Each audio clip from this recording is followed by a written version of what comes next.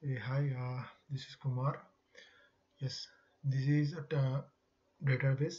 So if you wanna write a database, so what's the problem? My question is, if you wanna insert some more data, like uh, more number of student names, it's difficult to anyone to get some uh, in number of hundreds, two hundreds, or twenties, thirties. You don't remember that many names.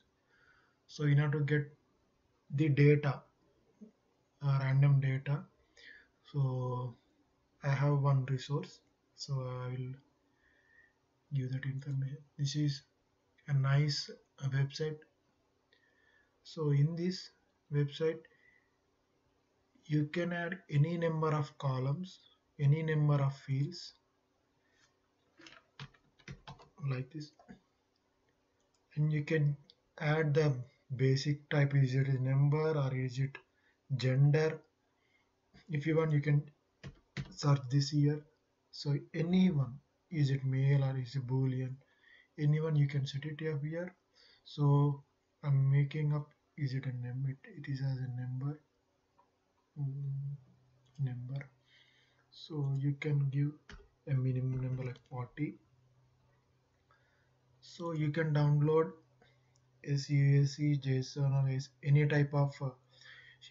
So if you look at a SQL, PV is available.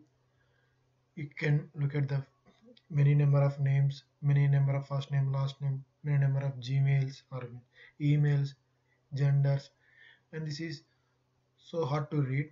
So if you want to make a very easy to read, just go for Excel. If you are not do by yourself,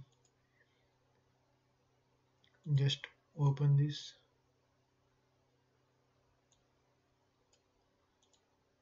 This will be so you can easily insert data by your own by your say like this. So just just go here and type your name or else if you want to use this, this one directly or if you want to use this data directly as a SQL data just go to here. Have SQL download this. Or else preview.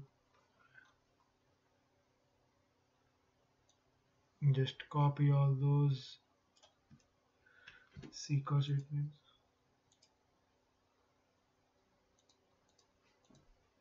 And just paste it here. That's it. You can get you can run this query and you will get all the data into your database. Thank you. I hope this information will help you. Thank you